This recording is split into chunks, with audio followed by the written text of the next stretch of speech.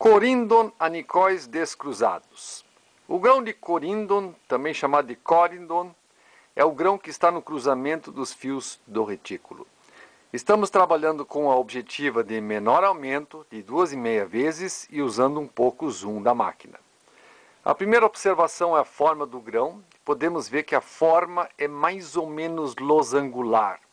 A literatura nos informa que esta forma de barril lembra um pouco um barril, é típica para corindon. Então temos aqui um grão de corindon com a forma típica. A segunda observação é a cor. O corindon é incolor, não apresenta cor nenhuma. E a terceira observação é relevo. Para tanto, vamos fechar o diafragma um pouco e vamos constatar que é um relevo alto.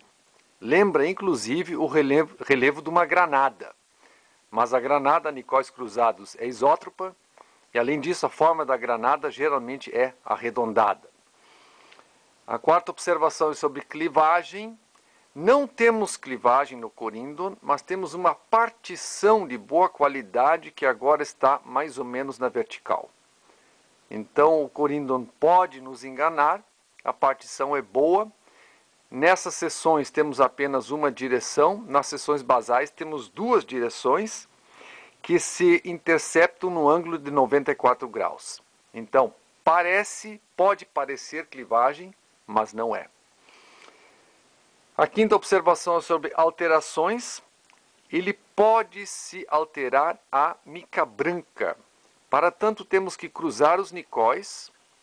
E aqui podemos ver que ao redor deste grão de corindon temos um agregado de grãos muito finos, uma, uma crosta, uma capinha de grãozinhos finos e coloridos. Né? Então aí nós temos a mica branca, que é produzida a partir da alteração do coríntone.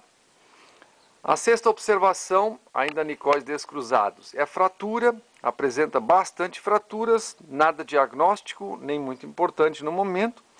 E a sétima e última inclusão, é, observações sobre inclusões pode apresentar também nada diagnóstico. Então o corindon lembra a granada, mas não é isótropo.